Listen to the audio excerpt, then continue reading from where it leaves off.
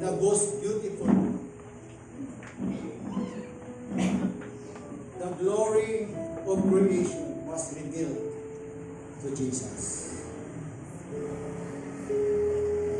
Jesus is the rock and my fortress, my shield and my deliverer. Kung mayroon man sa puso, sa senses mo ngayon na bumahati, try to arrange everything. Iayos mo. Sapagkat, tulad ng sabi ko, hindi tayo naghahanap ng maganda o magaling na mensahe. Ang gusto natin mag may haya, mag-manifest sa buhay natin ang salita ng Diyos. He is the bread of life. He must be your food every day. He is the center of everything we do. He is our great physician. Ang isang ma- isang sakit ng Christian ay pagod. So you need the rest of your soul. You can find rest in the presence of the Lord. Kung ikaw ay pagod na, at lalo mong nararamdaman ang pagod ngayon, at ikaw ay mamuhay sa sinsya mo, lalo kang mapapagod. But in spite na kahit pagod ka ngayon, and you want to find rest with the Lord, that's the garment of Jesus. That's Him tonight. Kung hinipo ka ni Lord, something is will happen to you. Hindi ka magiging normal ngayon. You. May mangyayari sa'yo. Maring mag-overflow yung spirit mo, mag- mag-overflow yung heart mo, at hindi mo mapipigilan. Maring mag-overflow yung presence ni Lord sa lugar na to. Naman ang gagawin ng Panginoon sa ating buhay, just really just open. Dahil gusto ng Panginoon. Sa kaharian Diyos sabi niya, the kingdom of God is by righteousness, peace, and joy. Yan ang dapat magmamanifest. Every church service natin, righteousness, peace, and joy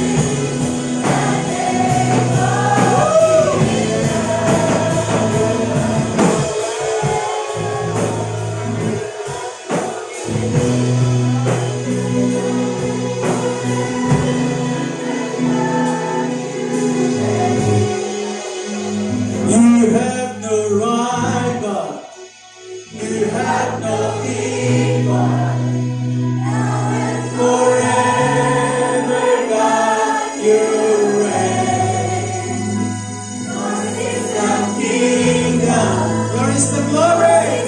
Glory, the name.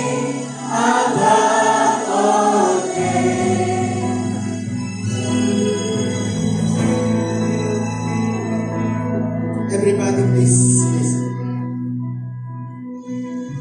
We go to church not for the blessing. We go to church for the blessing. The blessing. Concentrate to the blessing. Hindi tayo pumupunta sa simbahan para sa naman pagpapala. Pupunta tayo sa simbahan dahil doon sa nagpapala. Dahil kapag naipo natin ang mapagpala, lahat ng pagpapala, ipagkakalog ng Diyos. Sino rito ngayong gabi bago tayo makalabas sa church?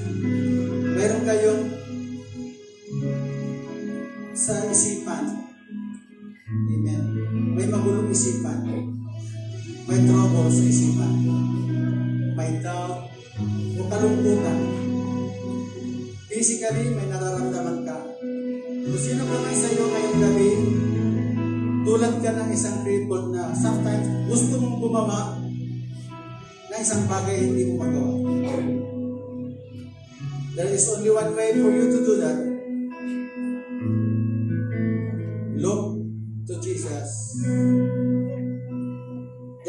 The Holy Spirit. Sometimes we have been mistaken.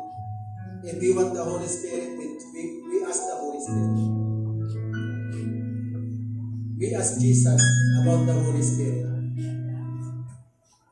And if you touch the heart of Jesus, He will give you the Holy Spirit.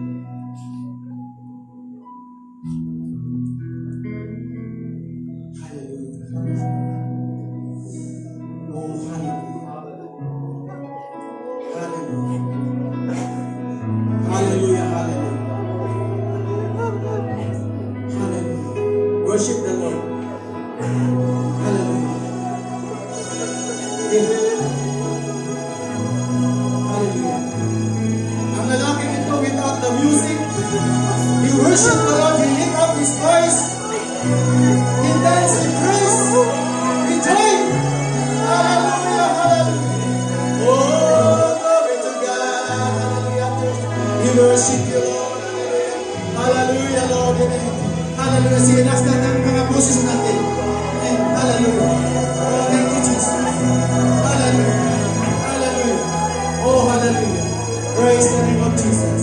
Thank you, Lord. Hallelujah. Hallelujah. Hallelujah. Sino may, may special na pangangailangan sa Panginoon? Just raise up your hand. Basta ang kamay, hindi ko kayo tawagin. Kasi kami mga pastor, tulad ni Pedro sa Kaliwan, kami ang lalapit sa iyo. Amen. We will, we will help you. We will make you strong. Ano na, ang Panginoon, malakas ang masigla. Because there are two desires of Jesus Christ for willing to help, to encourage. Amen. Itas lamang po ang kamay ng mga gusto uh, may pangangailangan sa Panginoon. And I want Pastor Park and some pastor here, lahat na nakataas ng kamay, na, hallelujah, go to them, meet them,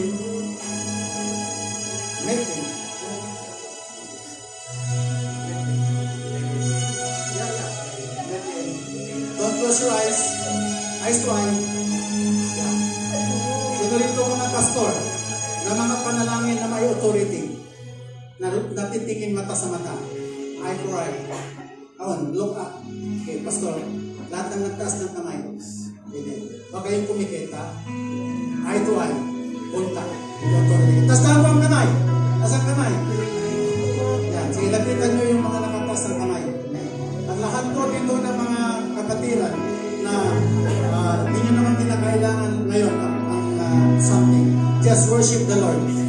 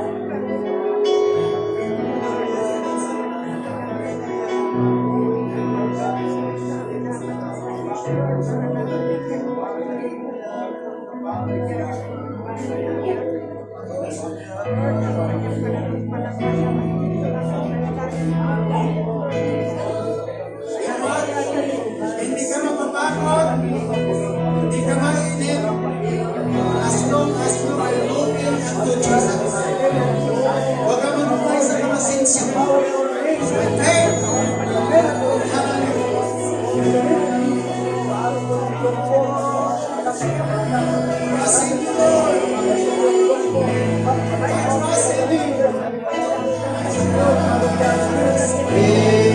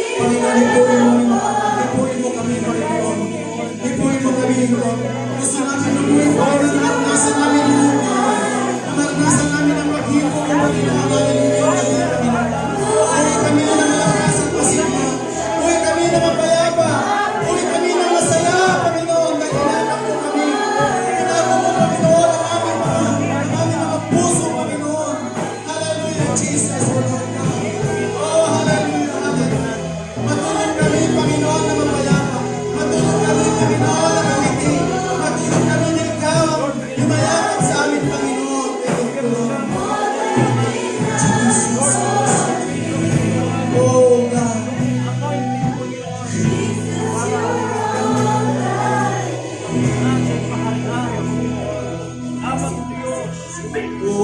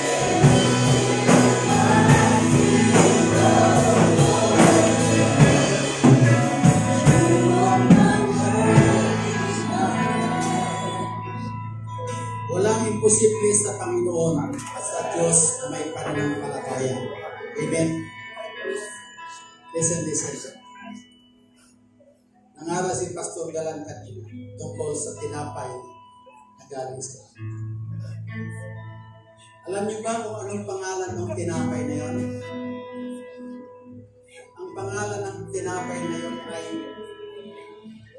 wala. Nang umulan ng tinapay, ang sabi ng mga tao, What is it? What is it? Ano ito? Tatanungin ko kayo na kapatid. Kung nakakita kayo ng tinapay na hindi nyo kilala at hindi nyo alam at basta na lamang nalaglag sa harapan mo, kakainin mo?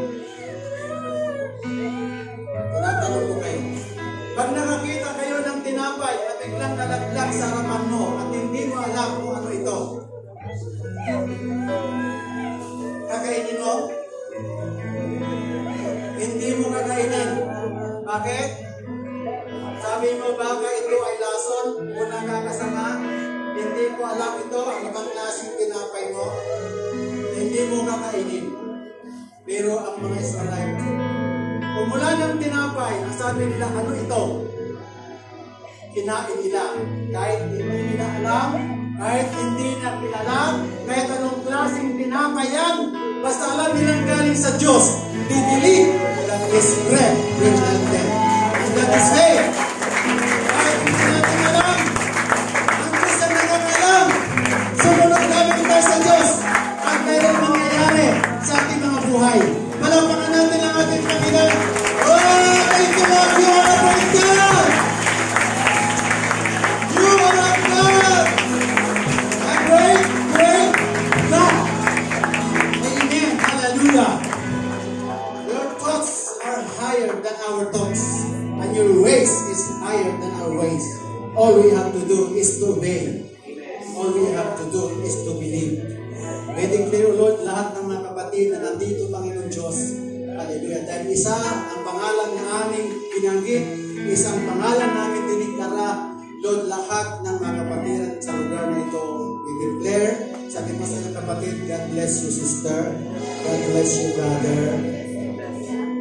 The name of Jesus that you carry on, that you carry, is the name above your name. Amen? Amen. Hallelujah.